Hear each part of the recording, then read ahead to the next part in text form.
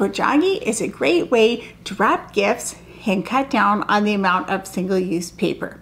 So today I'm going to show you how to wrap two books together into a package.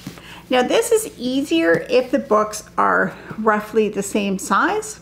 Now I'm going to be using this four patch pojagi that I've made.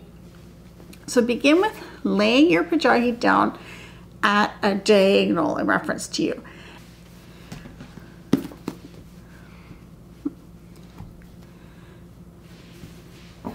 So put your books on your pojagi aligning with the center line and then flip them away from the center and then on one side fold over the corner and fold that in.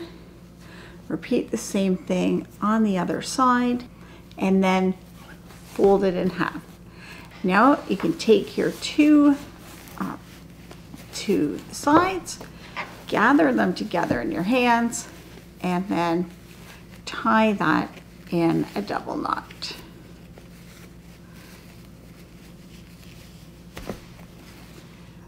What a great way to wrap two books. For more ideas for wrapping different shape items, be sure to check the link below.